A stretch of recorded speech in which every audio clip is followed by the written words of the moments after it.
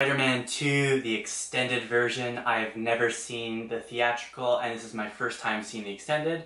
Uh, so yeah, I've never seen Spider-Man 2 before, but it's also kind of called Spider-Man 2.1, and it just has a bunch of like extended fight sequences and stuff, as it says on the back here. So typically, uh, I always go for the extended version. Not all the time, but most of the time, just because I'd rather absorb all the content I can. Um, and there were definitely some stuff I would have cut from it, but I, I signed up to watch the extended stuff, so I'm not going to complain about that. But I still have stuff to complain about. Um, I think this movie is definitely better than the first one, but I had extremely high expectations because I've been told by people that it's like the greatest Marvel movie ever made. So I kind of expected it to be good, but honestly, I thought it was pretty mediocre. I think it suffered a lot of the same problems the first one did. I think it did some things better, but it also had the exact same problems as the previous one because it is the same director and everything and the same vision. So it makes sense that there's the same problems. Um, so yeah, uh, Peter Parker this time is he has a very sad life. He's living alone. Um, he's kind of living on the brink of poverty. He's getting fired from jobs very frequently. Um, he's still obsessed with MJ, who is again maid hopping a lot.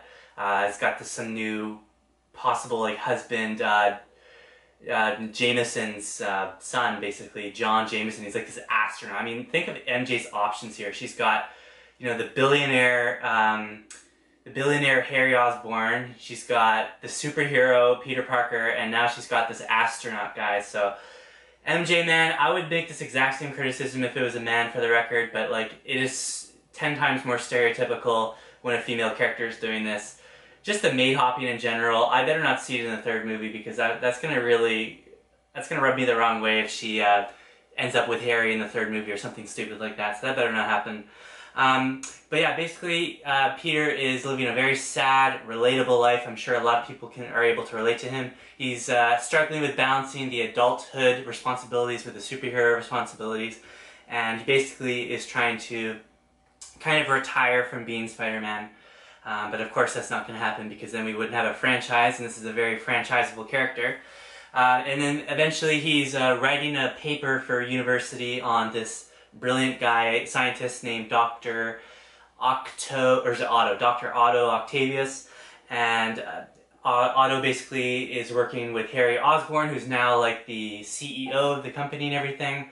Um, Harry's still pissed off at Spider-Man for murdering his father, even though his father was pretty, you know, pretty off the deep end. So, um, but uh, yeah, so the Otto does a live demonstration with his new technology. He's got these octopus arm things, and uh, they, they have AI minds of their own. And the only thing stopping the AI from taking over is this like inhibitor on his neck. And of course, that goes wrong, and the neck is thing is broken off.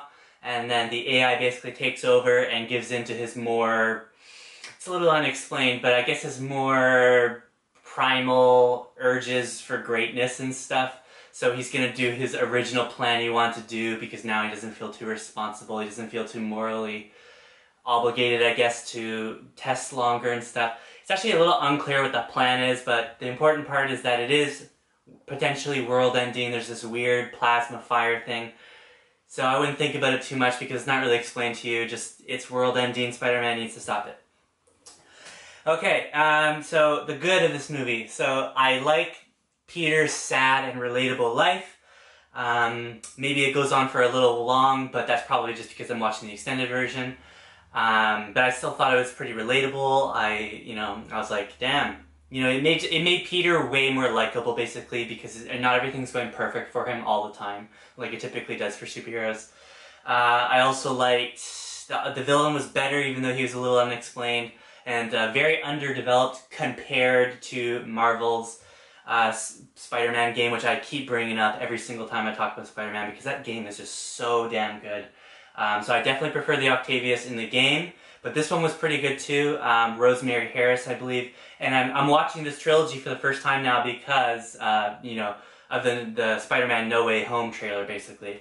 And I feel like it will be way more epic if I've seen these original ones first. Um, but uh, yeah, so you know the thing with Octavius, even though he wasn't super developed or anything, you kind of got a hint for who he is just off of the brief times he's speaking with Peter.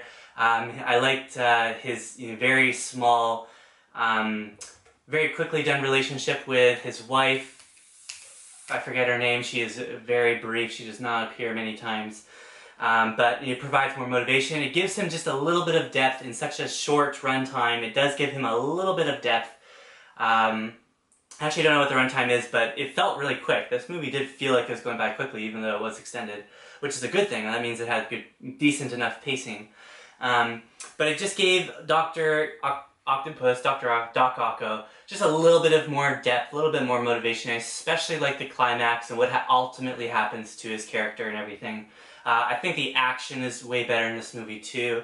Uh, basically, they didn't spare a single penny. It looks epic. I love that train scene. I love every time his mask comes off because sometimes there's some consequences to that. On that note, how does nobody realize who he is? I mean, anyone with half a brain in either Harry or MJ's position would immediately know that uh, Spider-Man is Peter Parker. Like, immediately. Peter doesn't have a Batman voice, you know. He's always at the right place at the right time. It's, it's so obvious. That, that actually kind of like, it was super obvious this time. It's like that in every single Spider-Man movie ever. But in this one in particular, I was like, come on, guys. You know. Like, there was a specific kiss scene in the last movie that like MJ goes, and it's like, come on, guys, you've got to know who. It's just stupid, man.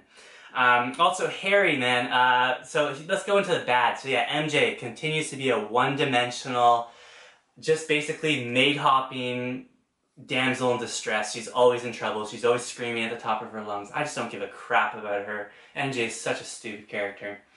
Harry is even worse this time. Somehow he's James Franco is just ten times more awkward in this movie. I have no idea why. He's basically the CEO now, and it's just not natural feeling at all. It happened entirely off screen. I don't buy it. It's just weird. He was super awkward.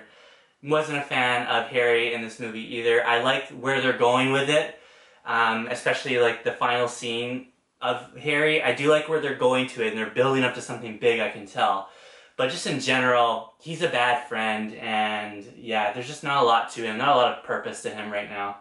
So yeah, Harry sucked, um, MJ sucked. Even Aunt May was kind of a wild card. I wasn't a huge fan of Aunt May. Either she was played for a quick joke or was supposed to be super serious and awkward, like when she just walks up the stairs without saying anything. And then the next time you uh, they talk to each other, it's like, oh, it's water another bridge or over the dam, whatever you want to say. So Aunt May was all over the place for me. Very weird. Um, yeah, there's a lot. I, I mean, it's still super soap opery. It still feels like, yeah, I know it's a comic book movie, but it really feels like I'm watching a comic book, which is, I don't know. When I've watched the MCU, stuff like Infinity War and Endgame is miles ahead of uh, movies like these. I don't think these even come close. I think today's standards really make these look really bad in comparison. Um, it just feels so fake sometimes. Um, the special effects are good in general, but uh, man, it's just, they got toned down with the jokes just a little bit. I felt this movie was tonally all over the place. Sometimes it's like cracking dumb jokes, and then the next it's like super serious and emotional. It's like, you know, just pick one. Just pick one or the other, or like, I don't know how the formula is, but the Russo brothers in particular are super excellent at switching the tones when need be. Um, but this one just felt really jarring, and yeah. I don't know why Spider-Man, I don't know why the Sam Raimi trilogy is so praised as it is. So far, I've only seen mediocrity, and I've heard Spider-Man 3 is the worst of the three. Um, but honestly, from what I've seen, I have a feeling I might like Spider-Man 3 the most. I've never seen it, but I've seen some of the fight scenes with Sandman and stuff, and that that's that looks pretty cool. So yeah. Anyways, I'm gonna give Spider-Man 2 a 2.5 out of 5 stars. That is 0.5 higher than last movie, but I still think it's painfully mediocre. I would still watch this one again. I think it has some value to it. I think the fight scenes are pretty good. But uh, yeah, just not a lot happening, I guess, in the entire thing. And I don't really know what I don't really know what the consequences of everyone's actions are exactly because they're not exactly explained. It's like, it's just like a little doom ball thing, and it's like, are the AI, is the AI forcing him to make the doom ball, or did you already make the doom ball already? And it's like, you know, I don't know. I just prefer villains that are explained. That's just how personally I prefer. Some people don't care about that at all, but personally I do. So yeah, I could still kind of recommend this movie to you. Obviously, lots of people love it. It's just not for me. So yeah, that's just my opinion. I'm sorry probably the second most unpopular opinion I have on my channel. after Spider-Man 1 only getting 2 out of 5 stars, which I feel harsh about, but I feel true. Because I just didn't think, I don't think either of these movies were anything amazing. But I did really enjoy the climax and I thought the fight scenes were good, so it's got that. 2.5 out of 5 stars. Thank you